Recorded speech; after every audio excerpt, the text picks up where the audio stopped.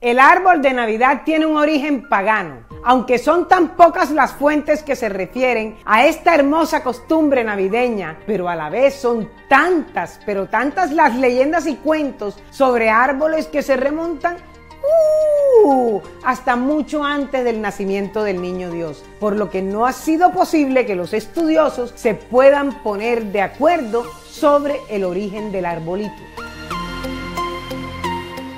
el arbolito, así le llamábamos en mi familia y creo que en muchas familias. No se ha podido determinar ni dónde ni cuándo comenzó la hermosa tradición del arbolito de Navidad. Al parecer viene de las celebraciones del solsticio de invierno, cuando en el hemisferio norte los árboles se quedan desnudos porque se caen todas sus hojas, pero hay unas cuantas especies que tal y como lo dice un hermoso villancico, mantienen sus hojas verdes hasta en medio del más crudo invierno. Uno de ellos es el pino que simboliza la plenitud de la vida, que se yergue sobre el manto blanco de la nieve, que mata casi todo el verde de la naturaleza. Para las diferentes culturas de la antigüedad, la madera era un símbolo de vida, porque la leña les brindaba luz y calor, que en medio del invierno les mantenía vivos y calientitos. Durante la Edad Media, época de grandes supersticiones, se creía que los árboles tenían un espíritu adentro y que cuando sus hojas maduraban en el otoño y comenzaban a caer hasta quedar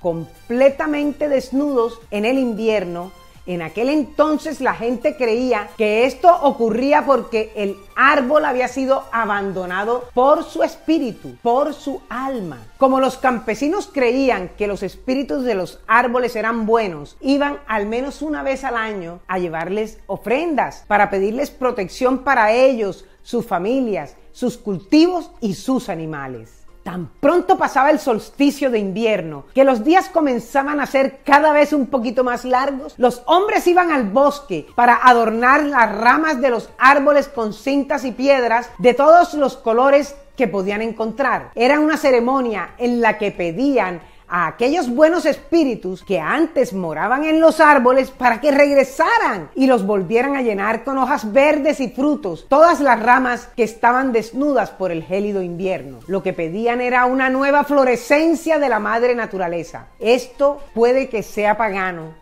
pero es muy lindo y muy espiritual. Los árboles que mantenían sus ramas siempre verdes eran amuletos en contra de la mala suerte, contra las brujas, contra los demonios, contra quién sabe cuántos males que había en la Edad Media. Estos árboles, que son varios como el enebro, el acebo, el abeto, el pino que ya les mencioné, eran la contra que se oponía a todos esos males en los que creían las personas durante la Edad Media. Cuando el verdor volvía a la naturaleza en la primavera, los antiguos estaban convencidos que aquel rebrote de la naturaleza se había dado gracias a sus ofrendas. John Stowe, un escritor inglés del siglo XVI, en una de sus obras, publicada en 1598, narra una escena de Londres del siglo XV que dice así. Durante la Navidad todas las casas e iglesias se adornaban con acebo, hiedra, laurel y cualesquiera de las plantas que se mantenían verdes durante el invierno. Cuenta la leyenda que San Bonifacio, un obispo benedictino que el Papa mandó para que evangelizara la región que hoy es Alemania, fue el creador del primer árbol de Navidad. Durante sus viajes por Alemania se dedicó a destruir todos los ídolos paganos que iba encontrando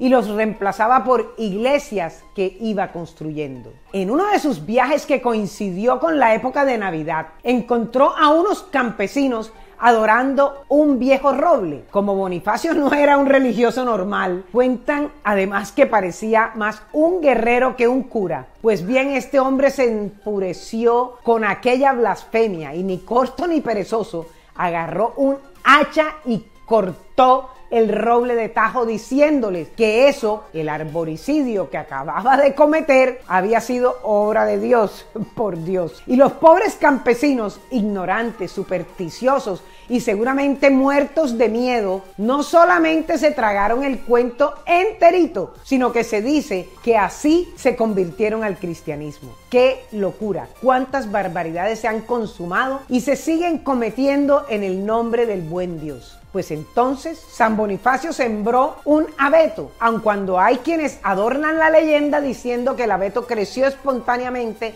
en el sitio donde el santo había cometido el arboricidio, o sea, donde el santo había cortado el roble. Cuenta la leyenda que en la siguiente Navidad todos en la región se habían convertido al cristianismo, pero lo que sí fue espontáneo es que los vecinos comenzaron a colgar manzanas en el nuevo árbol, aun cuando es posible que fueran manzanas porque durante el medioevo se acostumbraba a celebrar el día de Adán y Eva el 24 de diciembre. Entonces se cree que lo que quiso festejar el obispo fue, según cuentan, la derrota del supuesto pecado del paganismo, porque así como el abeto se mantenía siempre verde, o sea, que era el árbol de la vida, y las manzanas simbolizan el pecado original, derrotado por el abeto como árbol de la salvación. Se dice que fue así como se comenzó a celebrar la Navidad en reemplazo del solsticio de invierno que hasta ese momento festejaban en esa comunidad. Aun cuando esto suena como fábula, porque ¿cómo así que la